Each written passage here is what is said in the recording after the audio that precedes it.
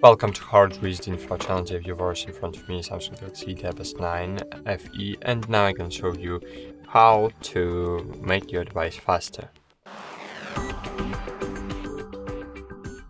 So first of course you need to open the settings and scroll down, find here uh, battery and device care, then battery and disable the power saving mode because in the power saving mode your CPU is limited up to 70%. So as you can see 30%, uh, 60 30% uh, you can't use in battery saving mode.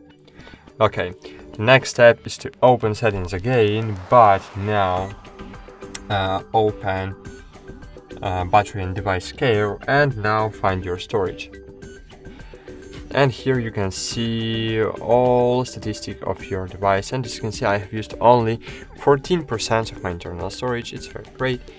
But when you will fill up your internal storage over the 70% so it may be something somewhere here so your device will start slowing down. So unfortunately you can use this rule for tablets for smartphones and for other devices uh, but this rule works unfortunately on any Android and not just on Android but for any devices. So you need to have 30% free always on your internal storage. And the last aspect of course is the RAM. So all processes are running at the moment they are running RAM and very good idea to open uh, battery and device care then find memory here Scroll down, click RAM Plus and enable 6 or 8 gigabytes, gigabytes uh, of memory, RAM memory uh, expansion.